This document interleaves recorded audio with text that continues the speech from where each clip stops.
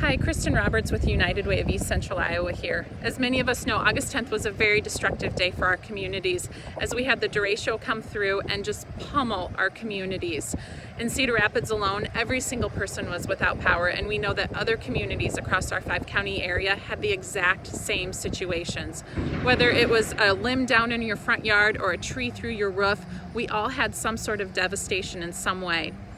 United Way, though, was very, very instrumental in helping our community be able to respond immediately. We had staff working within 24 hours on our disaster response.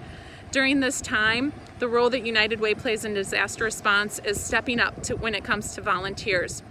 We have had volunteers working across our community within days of our destruction and within our disaster. It has been amazing to see us work with the 16 plus national disaster relief organizations come into our community, along with the individual volunteer who wants to help out their community member.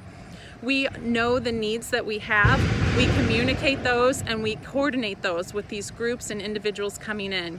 For instance, we checked in on these mobile home parks within our community. We took that initiative because we know that to have a home is part of being financially secure, and we wanted to make sure that these groups of people had the help that they needed. We've deployed out volunteers throughout the different mobile home parks within our community, and we're proud of that and the work that they've done.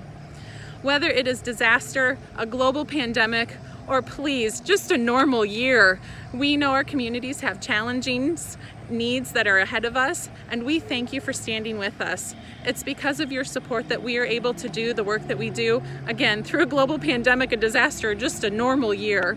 So thank you for sticking with us. Thank you for being supportive of us. We are getting through this together. Stay strong and be safe.